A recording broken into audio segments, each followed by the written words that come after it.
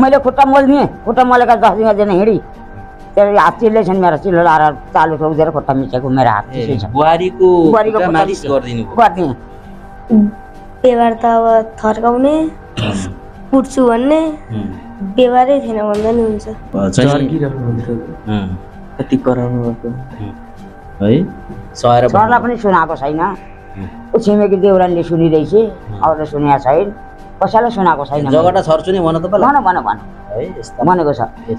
ठ्याक्कै बाबाले फोन गर्ने बित्तिकै टाउको दुख्ने भुँडी दुख्ने घरि गर्दा बिहोस नै भइदिने बिहोस भइदिएर न- नाटक गरिदिने अँ, छोराले ल्याउने अनि पङ्खा पङ्खामा उ गर्ने अनि झुन्डीले सुसाइड फुक्ने गर्न खोज्ने। न- नाटकै हो त त हुन त। नाटकै हो। छोरो मान्छे आयो भने ओछ्यानबाट यसो मुन्टो उठाउँछ। छोरी मान्छे आयो भने गुट्टु मुन्टुबाट सारे हुन्छ त्यहाँसम्म गरेको छ। अब मैले खुट्टा सिधै मिचिदिएको छ। कुट्न थाल्ने बित्तिकै बाहिर निकाल्ने। अनि कोठा हाल्ने अनि बाबालाई चाहिँ त्यो मन्जन लाएर आँपको चोप लागेको भन्ने। के लाग्छ? तपाईँलाई चाहिँ बढी माया आफ्नो जन्म दिने आमाको लाग्छ कि हजुर आमाको लाग्छ? हजुरआमाले हजुरआमा लाग्छ।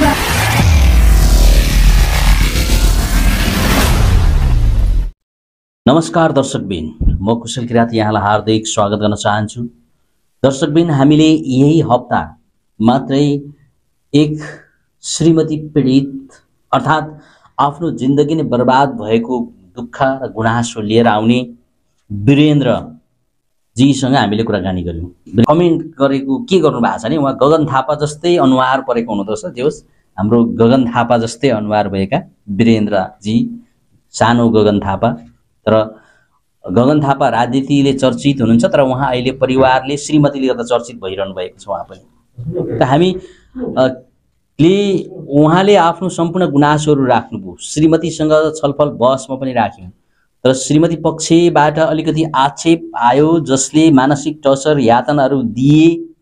लगायतका चाहिँ चरित्र हत्या गर्यो भन्ने जस्तो अपरा त्यो अपराधिक चाहिँ नि आरोप प्रत्यारोप भइसकेपछि वास्तवमा वीरेन्द्र कतिसम्म हदसम्म सही छ अथवा कतिसम्म गलत छ भन्ने कुरा उहाँको छोरा लगायत उहाँको आमालाई समेत हामीले आज यस मिडियामा आउनुभएको छ।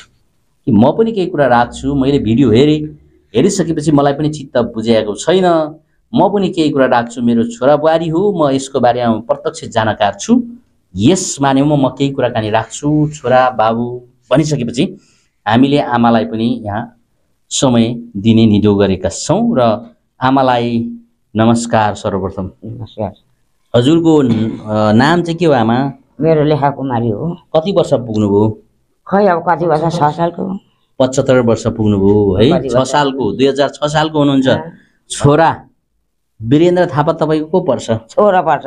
कुन छोरा हो? कान्छो छोरा हो। कान्छो छोरा हो। कति भाइ छोरा तपाईँहरू जोडा छोरा थियो एउटा हराइगयो एउटा छ। हरायो मतलब। चाहिँ कति वर्षदेखि हराएको? कति वर्ष धोयो अब बिस पच्चिस वर्षै भइसक्यो। ए भनेपछि अहिले गुमनाम अथवा भनौँ लापत्ता हुनुभयो। छैन छैन पत्तै छैन। छ छैन थाहै छैन। थाहै छैन। थाहै छैन। जस्तो अहिले यो तपाईँको छोरा कान्छो छोरा वीरेन्द्रको चाहिँ अलिक चाहिँ पारिवारिक समस्याहरू आयो जस्तो कि नातिहरू पनि खाइलाग्दो होइन एकदम एकदम तामाका मुनाहरू जस्ता नातिहरू रहेछन्। तर बुहारीसँग उहाँको खटपट पर्यो उहाँको अलिकति घरबार अलिकति नभएको राम्रोसँग भन्ने देखियो। के कारणले यस्तो भएछ आमा खोइ के कारणले हो? अब यता ता उता लगायो कि चराएर अब पुराणमा लगायो कि त्यहाँ छोडिदिएर गाडीवालासँग कहाँ गई? एकचोटि साँझमा आई।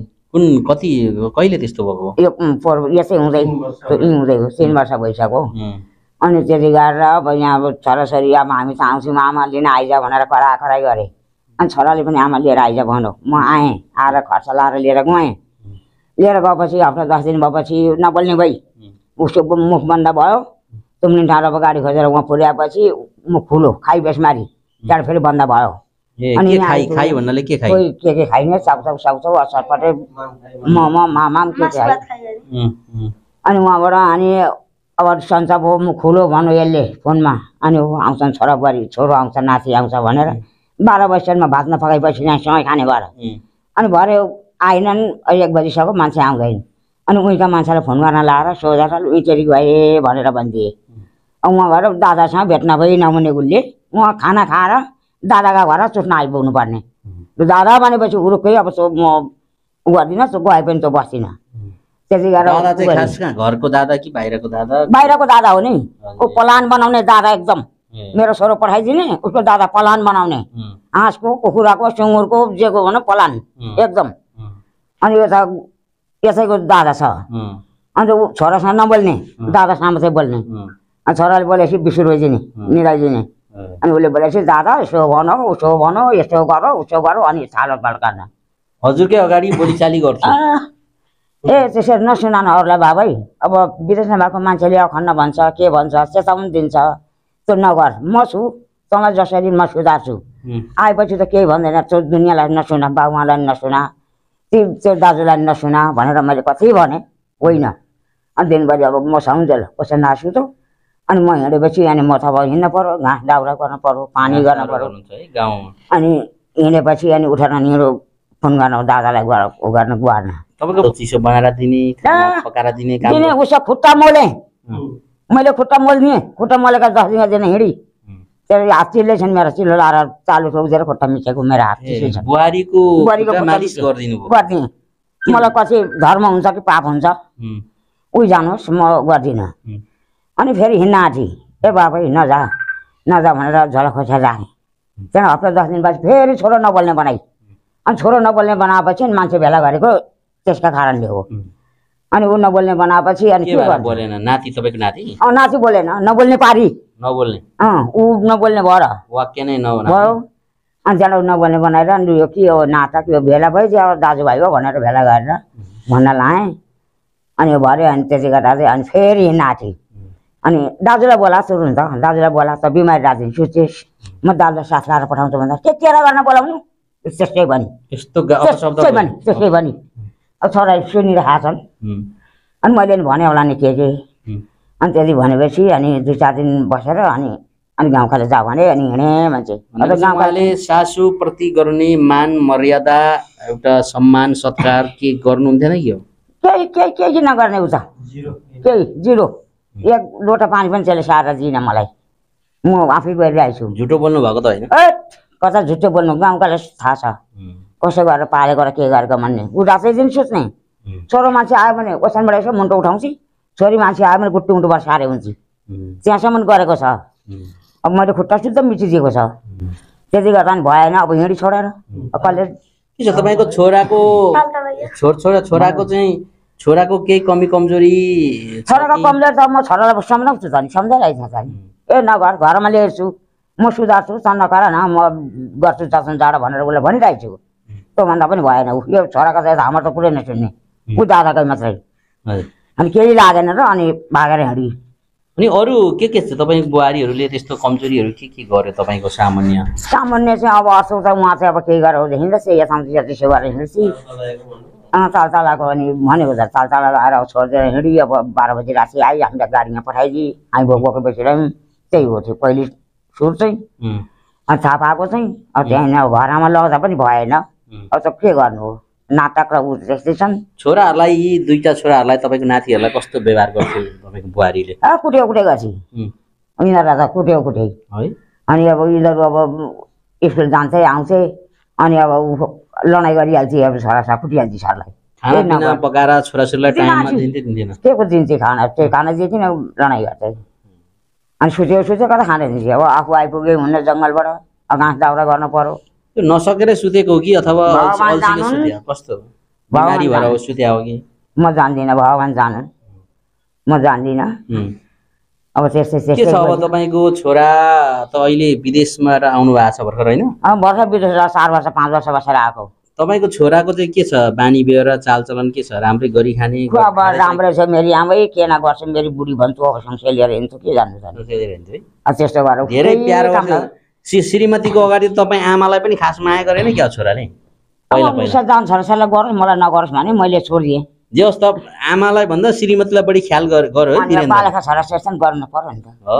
अँ, बालाका छोरा के कहिले काहीँ त फेरि आमाको चित्त नि दुख्थ्यो होला मलाई यसलाई त हेर्नु त मैले जन्म दिएर यत्रो मलाई भन्दा बढी यसको चाहिँ श्रीमतीलाई बढी हेरचाह गर्छ भन्ने लाग्यो। लागेन उसका जान परिवार राम्रो गरोस् बढाउन् फलाउन् फुलाउन्. यसो जल जल जल गरून् गरी खाउन् मलाई त्यही आयो। पचहत्तर छहत्तर वर्ष पुग्नुहुँदैछ अझै पनि गाउँमा तपाईँ अझै पनि हातमा अब तपाईँ। के गर्छ नचलाइकन गर्ने कोही छैन। गाउँमा के के पाल्नु भएको छ? गाई छन् दुई तिनवटा गाई छन्। गाई पाल्नु भएको छ गाई पालेको छ। गाई असो सक्दिनँ पाल्न अनि गाई पाल्नलाई घाँस खोले त पर्यो। गोबर हुन्छ नि सबै हेरचाह कसले गर्छ? आफै गर्छु। सबै आफै गर्नुहुन्छ? आफै गर्छु। वीरेन्द्रले चाहिँ त कतिको तपाईँलाई रेखदेख गर्छ यसो गरिरहेको छ नि। खर्च पानी दिन्छ? दिइरहेको छ। त्यही त अब मलाई हुन्थे भाइ बिमार सिमार हुँदाखेरि उपचार गरे। गरिरहेको छ। गरिरहेको छोराले आफ्नो कर्तव्य निर्वाह गरिरहेको छ। गरिरहेको छ अब पनि बुहारी त बुहारी नै हो। बुहारी हो कि अब खुट्टा मिचिदिएको उम्. के जान्नु? यो पहिले नै रोगी रहेछ र अघि लगाइदिएका रहेछन् यिनीहरूले यिनीहरूले ढाँटे उम्, यिनीहरूको धेरै ढाँट भयो। अब लाने बित्तिकै बिमारी भयो हेर के भयो नि?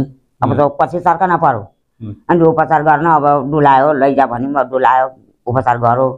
अब त्यो बिमारी त्यस्तो रहेछ कता उपचार गर्नेको हुन्थ्यो? भएन। अनि त्यसै ऊ नाटकै गर्ने ऊ त्यस्तै हुने साह्रै हुने। त्यस्तै गरेर बर्बाद गरिदिए। उम्। तर अब म चाहिँ बाई बाई। मलाई चाहिँ आउँदैन।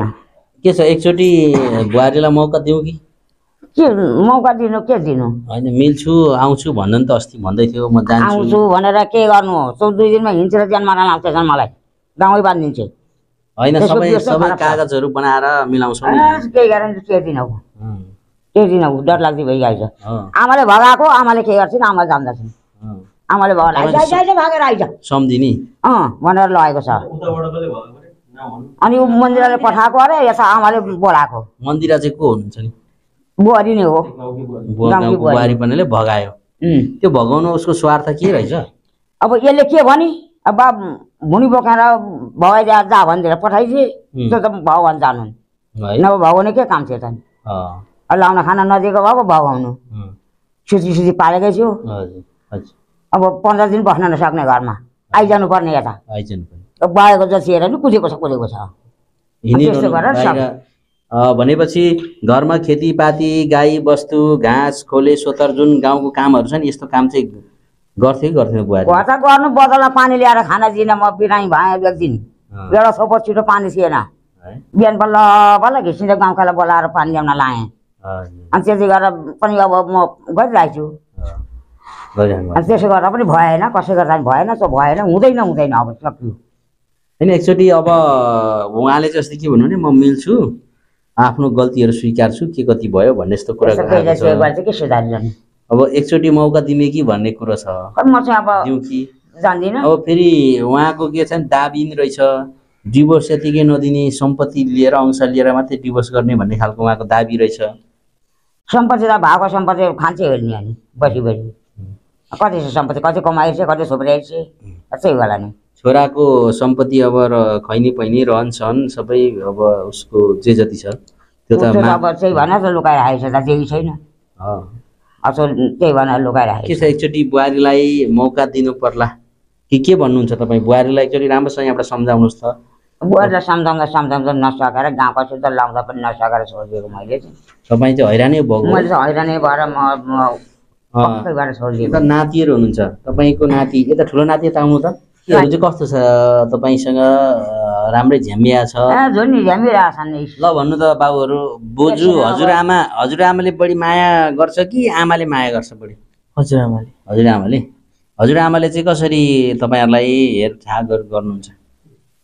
आमाले खाना? पकाइदिनुहुन्छ स्कुल जानु अघि नास्ता सास्ता बनाइदिनुहुन्छ आएपछि? भनेपछि एउटा जन्म दिने आमाले गर्ने कर्तव्य काम ड्युटी सबै हजुरआमाले गरिराख्नु भएको छ तपाईँहरूलाई। है? के लाग्छ? तपाईँलाई चाहिँ बढी माया आफ्नो जन्म दिने आमाको लाग्छ कि हजुरआमाको लाग्छ? हजुरआमाले हजुरआमा लाग्छ। तपाईँको नातिहरू त साह्रै लाइकदार छ है एकदम। राइदार छन्। जस्तो यो छोराको हालत यस्तो छ अब यो अवस्थामा आएर होइन के गर्ने त? उसले अब अब के भन्छ? उसले अर्को बिहा गर्ने कुरो त अब हुँदैन होला। अब जे छ यही श्रीमतीलाई सुधारेर एकचोटि अन्तिम मौका दिने कि भन्ने कुरा हाम्रो सल्लाह सुझाव छ। अब उसले के गर्छ? अब मैले त मौका दिइवरि सुधारी अखण्ड गरिवरि छोडिदिएको म चाहिँ नसक्ने बाँकी अब। म चाहिँ सक्दिनँ। त्यस्तालाई म सक्दिनँ। आमाले भन्न दिनु छोरो जोइ आउँछ भोलि आज आमाले किन भगाउनु त्यो गाउँकाले किन गएर गएर भाग भाग भाग भनेर भाग्नु? त्यो कसरी सुधार्नु मैले? म सक्दिनँ। माफी माग्छ होला नि त तपाईँसँग माफी मागोस् त्यसमा खुट्टै मिचेका छ मेरो के माफी माग्नु पर्यो पर्दैन। मेरो मिट्न पर्ने ठाउँ मैले मिचिरहेको छु के माफी दिनु? माफी चाहिएन मलाई। मलाई त्यसै धर्म होइरहोस् मलाई चाहिएको छैन।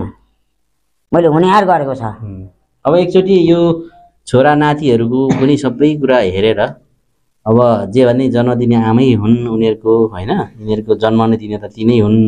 त्यतिलाई चाहिँ अलिकति धन्य दिएर एकचोटि माफी दिने कि भन्ने क्या? अब यस्तो अन्तिम पटक कागज गरेर म कायदा अब आइन्दा यसरी घर छोडेर हिँडे नहिँड्ने हिँडेको खण्डमा चाहिँ चाहिँ स्वत होइन? चाहिँ कुनै छोराछोरी छोराहरूलाई पनि श्रीमानलाई पनि सासूलाई पनि कुनै चाहिँ दखल नगर्ने अवरोध नगर्ने तनाव नदिने।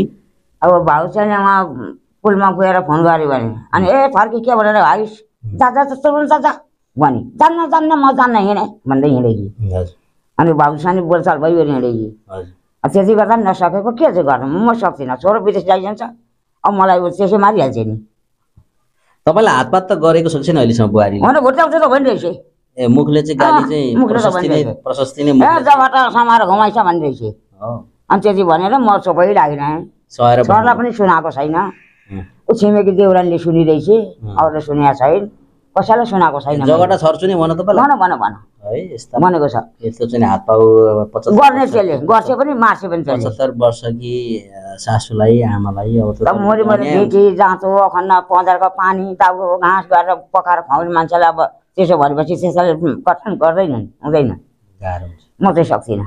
एकदमै अब जस्तो यो त सामाजिक रूपले संस्कारको हिसाबले सबै हिसाबले यस्ता पचहत्तर वर्षीय पचहत्तर वर्षीय आमालाई तर्साउनु धम्क्याउनु अथवा कुर्छु जगड्छु भन्ने त यो त यो त कानुनी रूपले हो सबै रूपले अपराध हुन्छ। त बिना बहिनी अब तपाईँको सम्बन्ध श्रीमानसँग मात्रै बिग्रिएको होइन रहेछ छोराहरूसँग नि बिग्रेको रहेछ इभन सासूसँग नि बिग्रेको रहेछ भन्ने कुरा चाहिँ यहाँबाट हामी अलिकति बुझ्छौँ। तर अझै पनि तपाईँले आफ्नो श्रीमानलाई राम्रोसँग कन्भिन्स गर्नु आफ्नो छोराहरूलाई सम्झाउनुहोस् बुझाउनुहोस् र हाम्रो मान्यता के छ भने फेरि पनि तपाईँहरूको पुनः फेरि पुनर्मिलन होस् भन्ने छ। अब तपाईँको छोराको बारेमा अलिकति सोधौँ। तपाईँको छोरा चाहिँ सानोमा कस्तो थियो? पढाइमा व्यवहारमा? यो होइन. पहिले कोही छैन। कसैलाई केही भनेको कस्तो थियो सानोमा? सानोमा यस्तै कान्छा छोरा जस्तै थियो। व्यवहार चाहिँ? व्यवहार त अब हामी बाबुआमा थियौँ बाबुआले गऱ्यौँ अब राम्रो पढ्नु गर्नु गरिहाल्यो। छटाइ फटाइ केही पनि झगडा? सुनिएन कतै पनि। गरेन। कसैको झै झगडा चोर्नु लुट्नु लुट्नु केही नै गरेन। आर्मी चाहिँ कसरी भयो आफै भयो कि? आफै आफै भयो आर्मी। पढ्दा पढ्दै? पढ्दा पढ्दै भयो। कतिमा पढ्दै थिए? दस पास गरेर आएको थियो। विधानहरू वर्ष एक वर्ष। अनि त्यहाँनिर चाहिँ अनि लागेछ। यतै लाग्यो है? जो छोरा त गरी खाने गरी खाएकै छ अहिलेसम्म होइन छोरा? गरी खाइरहेछ गरी खाइरहेको छ। अहिले नाति पो बिग्रिने भएछ। अब पढ्न नि अब यस्तो हुन्छ कता र कता कुदिरहनु पर्छ बिग्रिने भए। अब के गर्नु? तपाईँ एक्लो आमाले अब यसरी होइन छोरा हुर्काउनु भयो नाति नातिना पनि नातिहरू पनि त तपाईँले नै सम्हालेको रहेछ होइन? अनि कसले सम्हालिदिन्छ त नि आफ्नो नाति नातिना। लकडाउन अघि नै आउँछौँ आमा भन्थे। लिन आउनु आमा भन्थे। लकडाउनमा म पनि आउनु सकिनँ। एक्लै म पनि घर अनि बस्नु भयो बाह्रबाट थिएँ अनि आऊ नि त तिमीहरू आऊ भने। माइततिर लिएर गइछे अनि हामी त आउनु भनेपछि आमा लकडाउन भइगयो भन्छन् यिनीहरू कराउँछन् मलाई। त्यसो भएर आउनु सकिनँ एक वर्ष दुई वर्ष पछि बसी। अनि त्यहाँदेखि बल्ल बल्ल अनि लिएर लिन आएर लिएर गएँ। गएपछि चाहिँ त्यस्तै गरिदिएँ अनि अखण्ड नाटक गरेर बिमारी हुन्छे छोरा नबोल्ने पार्छ आफू नबोल्ने हुन्छे। दुनियाँभरि नाटक गरेर यसले बसमा चाहिँ पारेर हिँडियो केही केही राम्रा गुणहरू पनि थियो होला नि त तपाईँको बुहारीमा। खै के गुणसुण म जान्दिनँ? मलाई भने। होइन गुण राम्रो एउटा व्यवहार। यो चाहिँ मेरो बुहारीको ठिक थियो है भन्ने छ। त्यस्तो। छैन केही पनि। काहीँ काहीँ हुन्छ नि त। त्यही अब गाउँका यसो गाउँकासँग राम्रो गर्छ यसो गरौँ उसो गरौँ भन्छ। अरे भन्छे उम्, अब मलाई त यस्तो आमा उस्तो आमा यसो गर्नुपर्छ उसो होइन मलाई त। खोजी नै नगर्ने। खोजिनु भने अहँ, म त केही नगर्ने। पकाएर दिन्छु खान्छे सुति जान्छे भनेपछि भात तिउन पनि तपाईँले पकाएर दिनुपर्ने? पकाएर दिनुपर्ने। बुहारीले पकाएर दिनु अनि अब बिमारी भन्छु म चाहिँ अब हत्या गरिनँ यहाँमै बिमारी बुहारी छोराले गाली गर्छ मलाई। भन्छु म आफै धस्सिए धस्सिए गरेँ। अनि बुहारी बलियो भएर पुरिगयो नि के गर्नु? म सकिनँ अब रेस्टी गर्नु। अब चाहिँ हार खाएको? हजुरआमाले दुःख गरिराख्नु भएको छ। कस्तो लाग्छ? आमाले भन्दा बढी हजुरआमाले बढी तपाईँहरूलाई देखभाल गरेको हो? हजुर हो। ल भन्नुहोस् हजुरआमाको बारेमा भन्नुहोस् त। आमाले त केही गर्नुभएको छैन? हजुरआमाले चाहिँ हामीलाई हजुरआमाले गरेको राम्रो कामको बारेमा। हजुर हजुरआमालाई कस्तो व्यवहार गर्नुहुन्थ्यो तपाईँको आमा बिनाले? व्यवहार त अब थर्काउने कुट्छु भन्ने। व्यवहारै थिएन भन्दा नि हुन्छ। हजुरआमालाई यसो राम्रो तातो चिसो बनाएर कहिले दिनुहुन्थेन? कहिले पनि दिन्थ्यो हो ठुलो भाइ। हजुरआमालाई मतलब आमाले कस्तो व्यवहार गर्नुहुन्थ्यो त? तपाईँको आमाले त्यस्तै झर्किने। खानापिना बनाएर यसो आमा मिठो वचन मिठो बोली वचन पनि थिएन। कहिले काहीँ बोल्नुहुन्थ्यो मिठो? कहिले काहीँ बोल्नुहुन्थ्यो? प्रायः जसो झर्किरहनुहुन्थ्यो। कति कराउनु भएको। है? पाहाडमा बस्नु चाहिँ अलिअलि भयो गरी यता आएपछि छोडी सबै यसैको माया भइगयो के उताउनु धेर त दादाकै माया भयो। दादाकै दादासँग न भेट्न गरी नहुने। बिरामीबाट आउँदा पनि दादा यहाँ आइपुगे। कहाँ सस्ता यहाँ आइपुगेँ भन्दै फोन गर्दै हिँड्थे। दादासँग चाहिँ अरूसँग लड्दा होइन। त म सासू अब बालाका साथी छ। घरको दादा होइन बाहिरको दादा? बाहिरको दादा। अब बालाका नाति लिएर बसेको छु ऊ नलिकन आउने भएपछि उहाँ बाबुले कराएर उसलाई लिएर झरेकी। एक्लै आउने बाँकी हो। अनि त्यति गरेर अब उहाँ छ अब यसो उठाइ पठाइ गर्नुपर्छ बारीमा कमाइ छ। आफू चाहिँ हँसाएर फसा गरिरहन्छु यो बसिरहन्छ बडा। अनि त्यति गरेर गर्दा नि अब यस्तो गरेर यो गरिदिन्छ के चाहिँ गर्नु अनि? से छत्तर वर्षीय आमा। आफ्नो चाहिँ के छ भने बुहारीको बारेमा अब बुहारीको मैले बिमारी भनेर राम्रै हेरचाह गरेँ खुट्टा मालिससम्म गरेँ भन्ने कुरा उहाँको छ। आमालाई थप केही कुरा भन्नु छ? केही कुरा भन्नु छ? अब आमा के गर्नु त? आमालाई त एकचोटि मौका दिनुपर्छ होला। नदिने? नदिने। एकचोटि सुध्रिन्छु भनेर आउनुभयो भने? अब त आएर पनि फेरि भागिहाल्नुहुन्छ। तपाईँले कुट्न थाल्ने यति बाहिर निकाल्ने अनि हान्ने अनि बाबालाई चाहिँ त्यो मन्जन लाएर आँपको चोप लागेको भन्ने। हुँ। त्यसरी कुट्छ सबै लोक्छ खेलाएको नि। गरिरहनुहुन्थ्यो अनि ठ्याक्कै बाबाले फोन गर्ने बित्तिकै टाउको दुख्ने भुँडी दुख्ने। घरि हेर्दा बिहोस नै भइदिने बिहोस भइदिएर न- नाटक गरिदिने अनि छोराले ल्याउने अनि पङ्खा पङ्खामा उ गर्ने अनि झुन्डीले खोज्ने गर्न हजुर। यहाँ सम्झेल तर्साएको डर डर डर डराएको मतलब डर देखाएको धम्क्याएको है।